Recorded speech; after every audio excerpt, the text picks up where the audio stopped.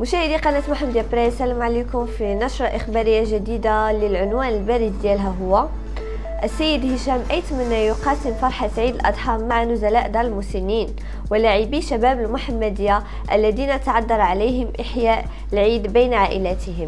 إذا خليكم مع تفاصيل الخبر.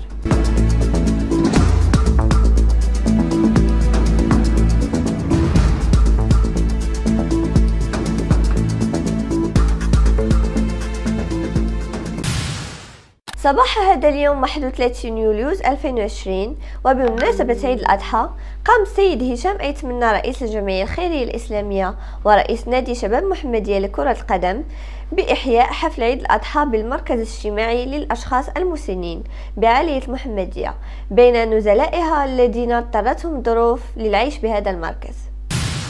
وقد بدأ الاحتفال بعيد الأضحى بفطور جماعي بين الجميع قدم فيه الشاي والحلويات ورغائف متنوعة.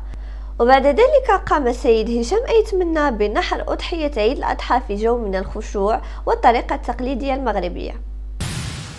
يذكر أن الجمعية الخيرية الإسلامية برئاسة السيد هشام أيتمنى ترسم دوما ومنذ عقود من الزمن الابتسامة على شفاه من قاسوا من ضنك الحياة.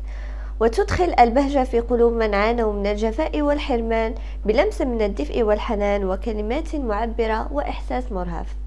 مع حرص الجمعية على الاهتمام بالمسنين وتوفير سبل الراحة لهم. في إطار دعم وتعميق مفهوم العمل الاجتماعي الذي تمثله هذه الجمعية العريقة وتجسيد الترابط بين الأفراد.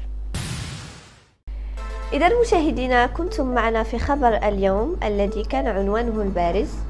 السيد هشام أيتمنى يقاسم فرحة عيد الأضحى مع نزلاء دار المسنين ولاعبي شباب المحمدية الذين تعذر عليهم إحياء العيد بين عائلاتهم. شكرا على حسن المشاهدة وإلى اللقاء.